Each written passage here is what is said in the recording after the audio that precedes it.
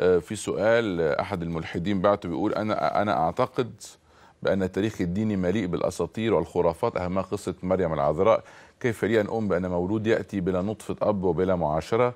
وكيف لها أن تمارس وهي الجنس وهي وهو رغبة وفطرة طبيعية ومنطقية عند الإنسان شيء غير مقنع على الإطلاق؟ لذلك أنا ملحد. هو نرد عليه نقول له إيه؟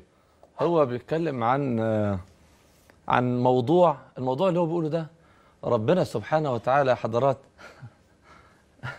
قالوا في آية واحدة آية واحدة في سورة آل عمران.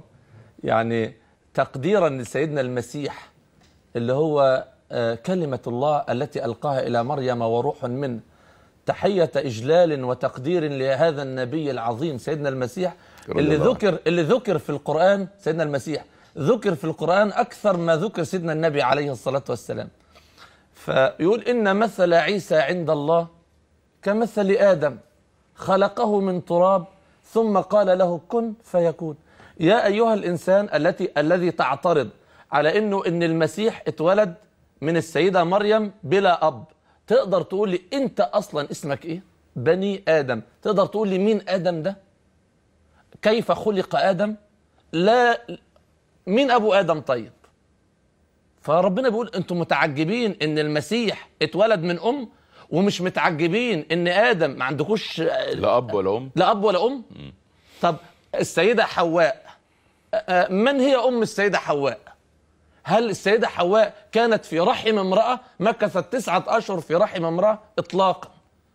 فلما بيجي يتعجب في أصل الخلقة فربنا بيقول له هل أتى على الإنسان حين من الدهر لم يكن شيئا مذكورا؟ طب أنت حضرتك يلي بتنكر وجود الله تقدر تقول لي أنت بس أنت اتخلقت إزاي؟ يقول لك من آه، رجل وامرأة. أيوه إيه بقى؟ هي النطفة نقطة المية. هي النطفة دي تخلق بني آدم؟ طب جت إزاي يعني؟ طب مين اللي خلق النطفة دي؟ طب مين اللي عمل ده؟ طب من الذي رعاها؟ هذه النطفة حتى آه، النطفة علقة ثم العلقة مضغة ثم المضغة عظاما ثم كسونا العظام لحما ثم أنشأناه خلقا آخر. ثم, آه ثم تيجي نفخ الروح من تسع شهور. مين اللي عمل ده؟ مش هو ربنا سبحانه وتعالى؟ طب اللي عمل كل ده؟ أنت مستصعب إنه يجي يعمل ده؟ ده ربنا بيقول إيه في القرآن؟